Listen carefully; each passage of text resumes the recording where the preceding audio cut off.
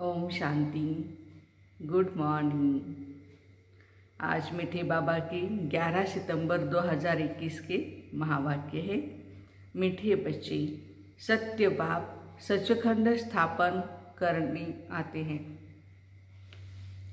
सच बाप सत्य बाप सचखंड स्थापन करते हैं। तुम बाप के पास आए हो, नर से नारायण बनने की सच्ची सच्ची नॉलेज सुनने।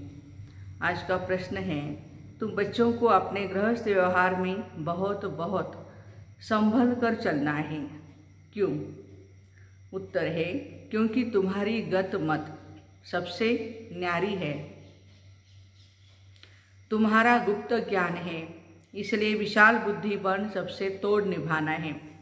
अंदर में समझना है, हम सब भाई भाई व भाई बहन हैं। बाकी ऐसे नहीं, स्त्री अपने पति को कहे, तुम मेरे भाई हो। इससे सुनने वाले कहेंगे इनको क्या हो गया है। युक्ति से चलना है। अंदर समझना है, आत्मात्मा भाई भाई है, लेकिन किसके सामने नहीं कह सकते हैं हम। या सासू को हम हाँ माता जी बहन जी नहीं कह सकते हैं वो उसको माँ जी कहेंगे ना, क्योंकि दुनिया वाले भी हैं तो उनके साथ चलना है, युक्ति से चलना है। ओम शांति। रूहानी बाप बेट बच्चों को समझाते हैं रूहानी अक्षर न कहे, सिर्फ़ बाप कहे तो भी अंडरस्टूड है। यह रूहानी बाप है। बाप बेट बच्चों को समझाते हैं। सब अपने को भाई भाई तो कहते ही है। तो बाप बेट बच्चों को समझाते हैं। सबको तो नहीं समझाते होंगे। गीता में भी लिखा हुआ है, भगवान वाच। किसके प्रति? भगवान के सब बच्चे हैं। वह भगवान बाप है तो भगवान के बच्चे सब ब्रदर्स हैं। भगवान ने ही समझाया होगा राजयोग सिखाया होगा अभी तुम्हारी बुद्धि का ताला खुला हुआ है।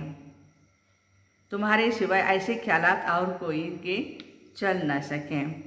जिन जिन को संदेश मिलता जाएगा, वह स्कूल में आते जाएँगे, पढ़ते जाएँगे। समझेंगे, प्रदर्शनी तो देखिए, अब जा, आकर के ज़्यादा सुने, सेंटर पर जाएँ, ज़्यादा सुने। पहले पहली मुख्य बात है ज्ञान सागर पतित पावन। गीता ज्ञान दाता शिव भगवान वाच उनको यह पता पड़े कि इन्हों को सिखलाने वाला, समझाने वाला कौन है?